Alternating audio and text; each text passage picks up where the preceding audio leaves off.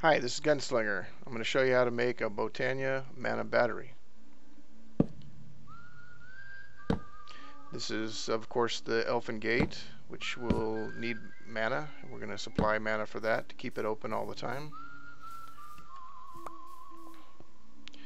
Next, I'm just going to do some decorating here. Not exactly necessary, but uh, make it look a little better.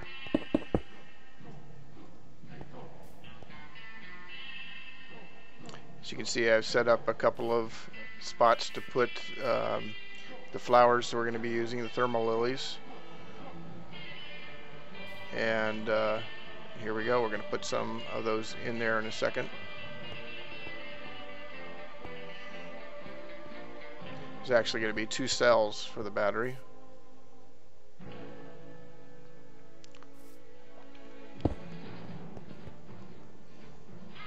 Mana spreaders down there.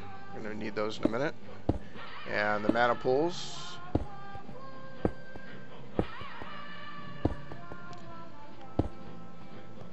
So you'll have four mana pools.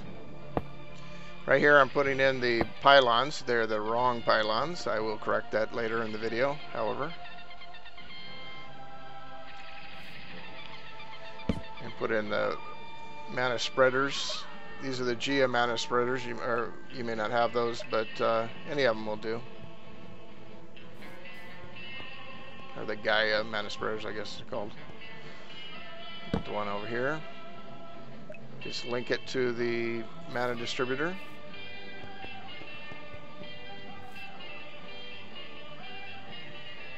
Now we're going to put it, the flowers in. You're going to put 24 flowers on each side.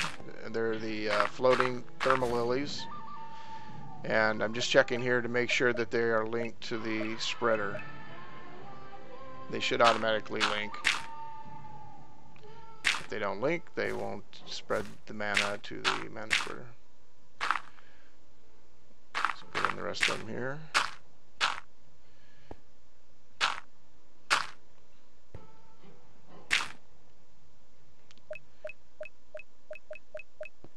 Then we'll uh, do the other side here real quick There you go. And then we're going to put a uh, floodgate. what it was for a second. And uh, on both sides here. That's from Open Blocks. Uh, you don't have Open Blocks. Probably not going to be able to do this. At least not the way I've done it. Uh, then we're going to put a uh, fluid a conduit in there from uh, Ender IO and then we're going to put a drum of lava on top. And we're going to open it up so it comes down. And it'll go down there in the hole that we created throughout the uh, thermalilies and you can hear right now the lava is going in there. And uh, you, saw it right there. It's being soaked up by the flowers and you can already tell if you look in here that there's already mana going in the pools being spread by the mana spreader. So uh, in order to upgrade it, you don't have to upgrade it this way if you want to, but you're going to run out of uh, lava. And I'm going to use some Thaumcraft and I'm going to create um, you need a node with uh, Ignis on it.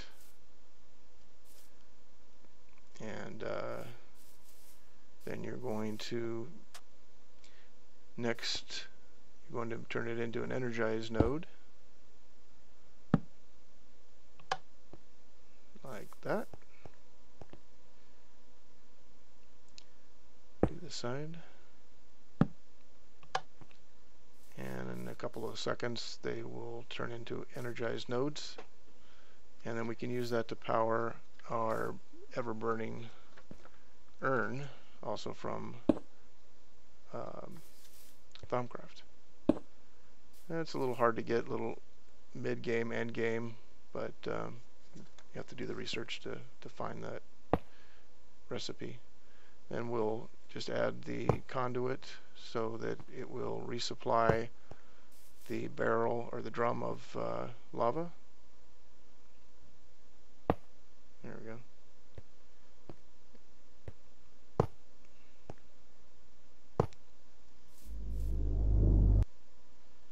Alright, get rid of these little extraneous connections.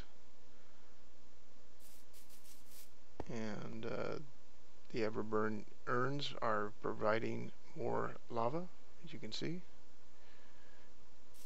And now it is completely self-sustaining.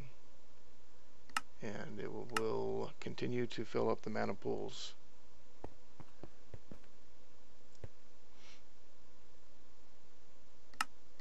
There we go. Make sure that it's actually going in there. And I'm going to change out the pylons and open up the gate. There we go. Change up the pylons. Open the gate.